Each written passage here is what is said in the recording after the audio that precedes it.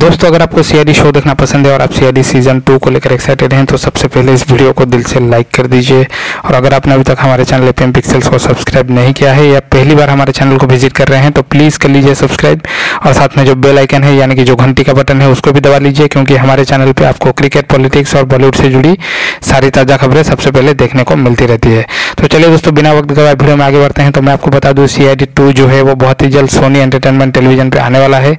और इसका जो प्रोमो है, वो ऑलरेडी रिलीज़ हो चुका है। बहुत ही जल्द आपको सोनी पे इसका प्रोमो भी जो है, वो देखने को मिल जाएगा। साथ ही साथ अगर आप चाहें तो यूट्यूब पर भी देख सकते हैं। इसके साथ दोस्तों, अभी भी खबर ये आ रही है कि ये जो शो है, ये हफ़्ते में दो दिन आएगा, दस से ग्यारह बजे तक, शनिवार और रविवार। और इसका जो रिपीट टेलीकास्ट है, वो सुबह देख पाएँगे आप सोमवार को और रविवार को। मतलब शनिवार का एपिसोड जो है, उसका रिपीट टेलीकास्ट आप रविवार सुबह देख पाएँगे और रविवार का एपिसोड का रिपीट टेलीकास्ट आप सोमवार सुबह देख पाएँगे।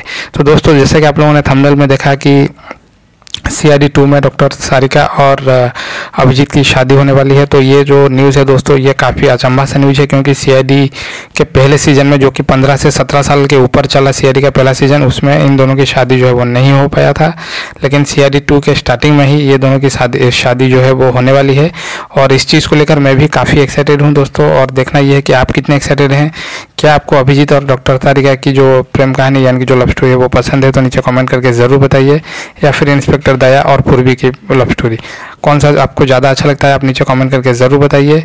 और दोस्तों, अगर आपको वीडियो पसंद आया हो, वीडियो को लाइक करिए चैनल को सब्सक्राइब करिए, और वीडियो को अपने दोस्तों के साथ ज़्यादा से ज़्यादा शेयर करिए। धन्यवाद, मिलता हूँ आप सबसे नेक्स्ट वीडियो में।